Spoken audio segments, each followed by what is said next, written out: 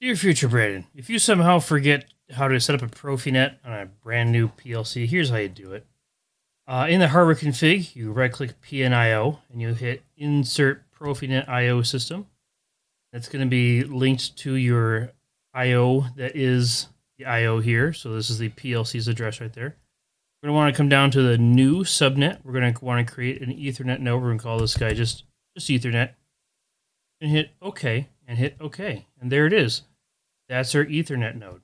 So I'm going to come over here and type in the actual number I have for this guy. This is a, let's just say 147 6BG. I'm going to enter on that. It's going to come down and find this is a 8DIDO. That's cool. So I have a few options here.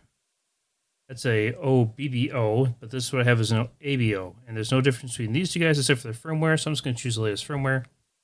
Drop that in there. I get this weird double question mark thing, but that's okay. Now the default IP address is going to give it is 11. If I don't like that, I can click Ethernet and I can change that to like a 12 or a 50 or whatever I want. But 11's fine. Now a note for Profinet names. Profinet names should all be in lowercase. I've gotten stuck before on other devices that require everything to be lowercase. And even in TIA Portal, you'll notice uh, lowercase is required or automatically converted for you when you do it. So I'm just going to call this guy ET Eco and leave it at that. Hit OK. So there's my ET Eco. Yeah, if you click on the black bar here, it'll tell you all the devices you have. It's there it is. Okay, 11. Perfect. So to set up our ET Eco, we're going to go to PLC and then to Ethernet. And we have two options here, and I'll show you both.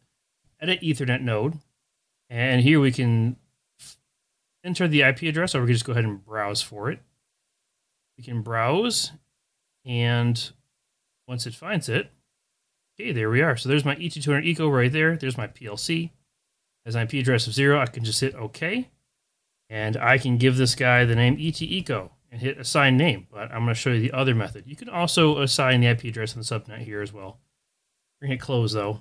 PLC Ethernet and assign device name. This one's a little cooler. Has an extra function of uh, filtering out other devices. Like you can have show only devices with the same type and devices without names. This guy had a name, but we're not going to worry about that. So we can just hit assign name here. Therefore, we don't have to type it in. We can just hit assign and it assigns it. It's easy enough. And then once the PLC has assigned the name, the PLC will then assign the IP address automatically. And that's what makes Profinet such a beautiful uh, field bus is that the PLC can change all the IP addresses of all the devices.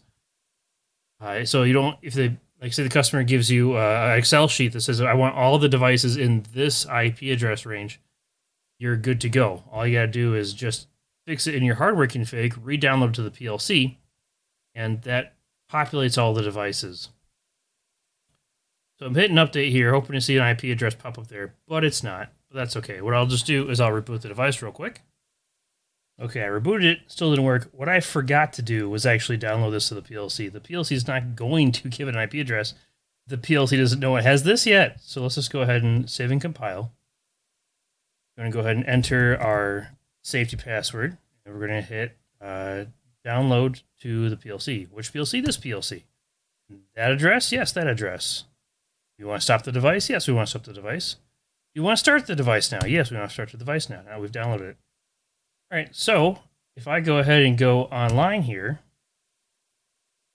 cool. So my PLC is starting. I'm going to go ahead and hit F5 here to continue the start process. Okay, so it is starting now. Cool, but now we have this guy. So let's see here. If we right click and go to module information, why is he not happy? All right, figured out what my problem is. I put the wrong device on here. Now it says the expected type is a 6BJ, but I have a 6BH. So, whoops. I want a 6BH.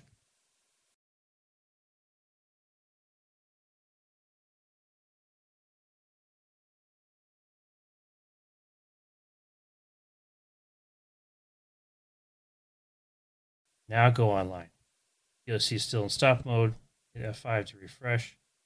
Boom, there he is. Now he is happy. He has no little red X or uh, little light, red line through him. He's there, he's talking, and he's good. So if you want to do the same thing for Profibus, click the Profibus.